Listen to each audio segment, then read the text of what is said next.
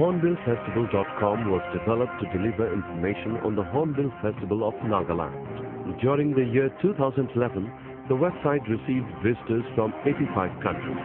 With time, the website started providing various online services for tourists.